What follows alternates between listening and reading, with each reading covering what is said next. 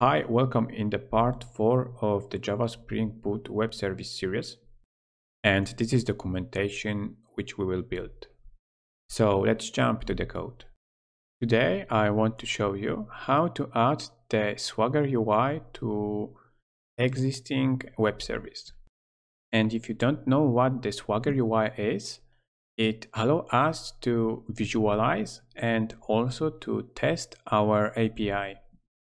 It will be possible through the user interface available in the web browser.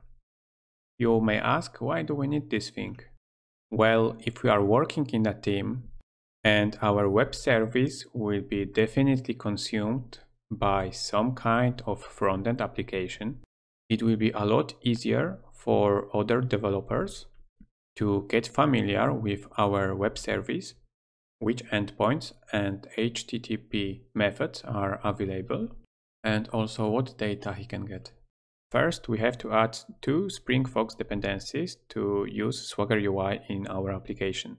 Okay then, so we jump to the POM XML of our project, and over here at the bottom, between the dependency stack, we will add two dependencies, and the first one is the Swagger 2 and the second one is for the Swagger UI. We need both of these dependencies because Swagger 2 is kind of core and the Swagger UI is extension. Now we have to add new package to our project. So we right click on the source main Java. We select new and we select package. We will name our package config but it also has to be inside of the students package. So we will have to type students.config. Okay, now we can click finish. And here is our new package. Inside our package, we will create a class. So we right click on the package, select new and class. Since it will be the configuration class for our Swagger, we will name our class Swagger config. Okay, we can click finish and there is our class. It is very important to remember that this Swagger config class must be in the same parent package as the application because otherwise it will not be visible. Okay, First, we have to mark our Swagger config class with two annotations. First one is configuration. So we type at sign and here is the first annotation.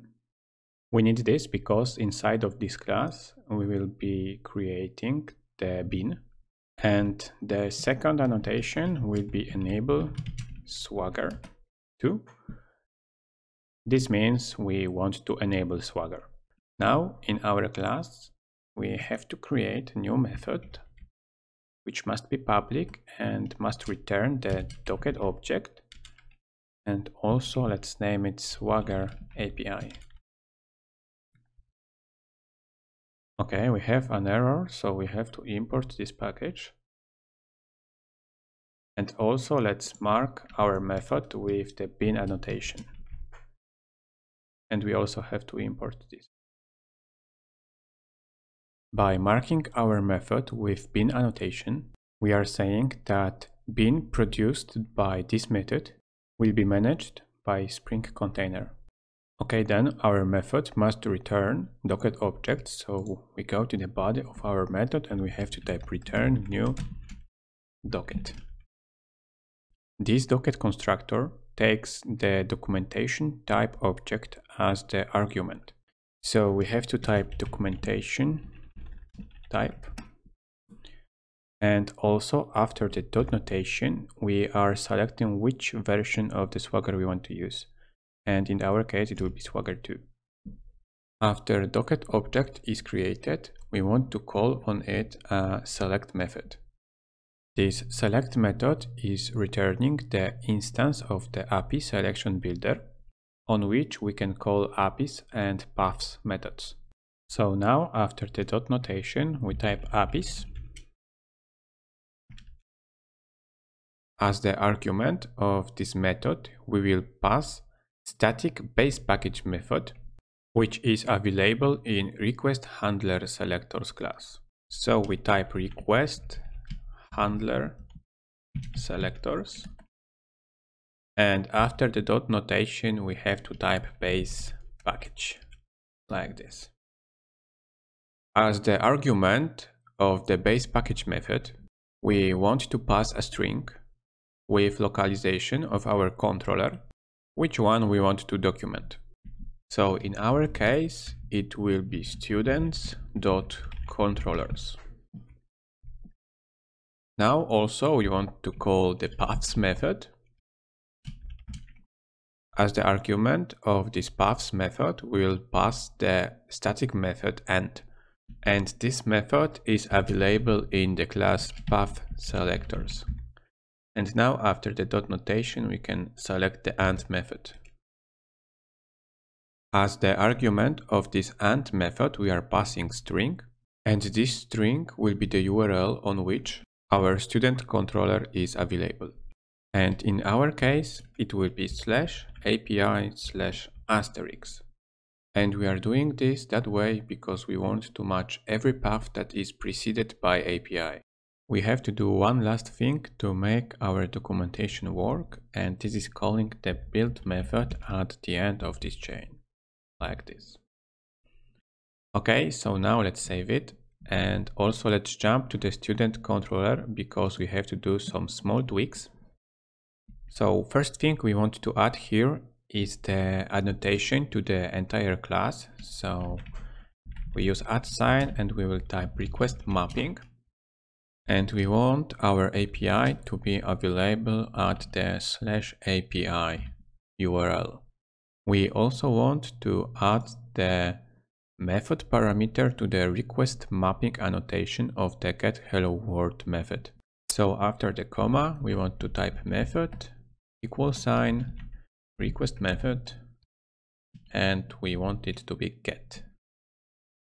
If we do not specify the request method for this get hello world method, Swagger will generate entry for every single HTTP method for this greeting endpoint. And we want it to be available only for the get method. Next thing we want to fix are endpoints names because as you can see all endpoints are singular and this is good practice to make them plural. So we go to the every single endpoint and we will add the s at the end. Okay, it's good. We also have to change the mapping of this get all students method. Because as you can see, the get all students method has the same mapping as the get student method. And they are both available on the same request method, which is get. The only difference is that the get student method has the parameter ID. And unfortunately, Swagger do not know how to handle this situation, because he will display only the one of them. So we will help him out a little bit and we will change this mapping to all students. Okay, so now we can run our web service. It is up and running and now as you can see to get the hello world message we have to precede the greeting with the API. And this is because we have added request mapping API annotation to our controller. Let's test out if we can get other endpoints. So we change this greeting to all students. And as you can see, we have access to the data. So we are sure that our web service is working. Now let's test out the Swagger. First thing we can do to test it out is changing the URL to v2 slash api dash docs. And over here we have JSON object and this object is holding all the necessary configuration data. We can use this data in our frontend application to generate interface which will allow us to communicate with the web service and get the data from database. Okay, so now let's check out our documentation and it is available on the URL swagger ui.html. As you can see, here is our student controller and if we expand it, we have the list of all endpoints exposed by our web service. But it is not all because we can select the endpoint and we have the entire description of it. And we can click the try it out button and click the execute. And as you can see over here, we have the information about the request that has been made. Also, we have the information about the response body, so it's the hello world, and also about the headers. Okay, so now let's hide it and let's try other endpoints. Let's try to add new student to the database. To do it, we have to go to this endpoint with the post method. And over here we have to click try it out and we have to provide the parameters.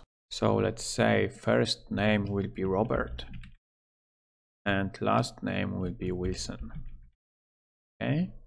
So now we click execute button. And as you can see over here we have made following request on the API students endpoint with the parameters first name and the last name and over here is the response. So we have created Robert Wilson student with ID 8. So now we can move to the another endpoint and it will be this one. So we move over here, we try it out. So now we will fetch Robert from the database. So we have to pass 8 as the ID.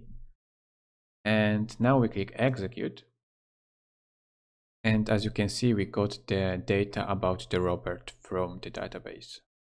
So now you can see that this Swagger UI is a great tool to document and also test your API.